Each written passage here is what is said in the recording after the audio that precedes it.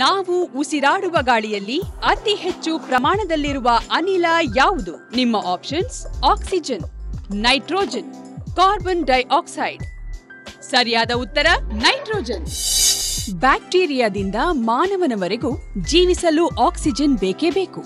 ನಾವು ಉಸಿರಾಡಿದಾಗ ಗಾಳಿಯೊಂದಿಗೆ ಆಮ್ಲಜನಕ ನಮ್ಮ ಶ್ವಾಸಕೋಶ ಸೇರಿಕೊಳ್ಳುತ್ತದೆ. ಅಲ್ಲಿರುವ ಲೋಮನಾಳಗಳಲ್ಲಿ ಇದು ರಕ್ತದಲ್ಲಿ ಬೆರೆಯುತ್ತದೆ. ಹೀಗೆ ರಕ್ತದಲ್ಲಿ ಬೆರೆತ ಆಮ್ಲಜನಕ ಹೃದಯದಿಂದ ಪಂಪ್ ಮಾಡಲ್ಪಟ್ಟು ದೇಹದ ಎಲ್ಲಾ ಭಾಗದಲ್ಲಿರುವ ಜೀವಕೋಶವನ್ನು ಸೇರುತ್ತದೆ.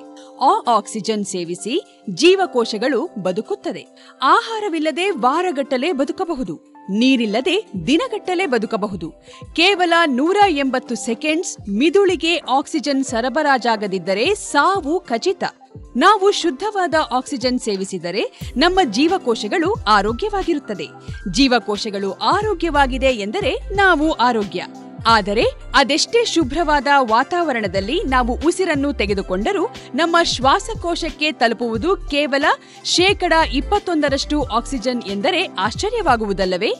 ಹೀಗೇಕೆ ಆಗುತ್ತದೆ ಎಂದರೆ ಭೂಮಿಯ ಮೇಲಿರುವ ಗಾಳಿಯಲ್ಲಿ ಶೇಕಡ ಎಪ್ಪತ್ತೆಂಟು ಪರ್ಸೆಂಟ್ ನೈಟ್ರೋಜನ್ ಇರುತ್ತದೆ, ಶೇಕಡ ಇಪ್ಪತ್ತೊಂದರಷ್ಟು ಆಕ್ಸಿಜನ್ ಇರುತ್ತದೆ ಮತ್ತು ಶೇಕಡ ಒಂದರಷ್ಟು ಇತರ ಅನಿಲಗಳು ಇರುತ್ತವೆ. ನಾವು ಉಸಿರು ಒಳಗೆ ತೆಗೆದುಕೊಂಡಾಗ ಶ್ವಾಸಕೋಶಗಳಲ್ಲಿರುವ ಫಿಲ್ಟರ್ಗಳು ಆಕ್ಸಿಜನ್ ಅನ್ನು ಸೋಸಿ ಹೀರಿಕೊಳ್ಳುತ್ತದೆ. ನಂತರ ನೈಟ್ರೋಜನ್ ಮತ್ತಿತರ ಅನಗತ್ಯ ಅನಿಲಗಳನ್ನು ಉಸಿರಿನೊಂದಿಗೆ ಹೊರಸೂಸುತ್ತದೆ. ಹೆಚ್ಚು ಹೆಚ್ಚು ದೀರ್ಘ ಉಸಿರು ತೆಗೆದುಕೊಂಡರೆ ಅಷ್ಟು ಜಾಸ್ತಿ ಆಕ್ಸಿಜನ್ ನಮಗೆ ಸಿಗುತ್ತದೆ. ಆದರೆ ಅಷ್ಟೇ ಪ್ರಮಾಣದಲ್ಲಿ ಶ್ವಾಸಕೋಶದ ಫಿಲ್ಟರ್ ಕೆಲಸ ಮಾಡಿ ಬಲಹೀನವಾಗುತ್ತದೆ. ಹಾಗಿದ್ದರಿಂದ ನಾವು ಹೆಚ್ಚು ಗಾಳಿ ಸೇವಿಸುವುದಕ್ಕಿಂತ ಸ್ವಚ್ಛ ಗಾಳಿ ಸೇವಿಸುವುದು ಒಳಿತು. ಈ ವಿಡಿಯೋ ಇಷ್ಟ ಆದಲ್ಲಿ ಒಂದು ಲೈಕ್ ಮಾಡಿ, ಶೇರ್ ಮಾಡಿ ಮತ್ತು ನಮ್ಮ ಚಾನಲ್ ಅನ್ನು ಸಬ್ಸ್ಕ್ರೈಬ್ ಮಾಡಿ.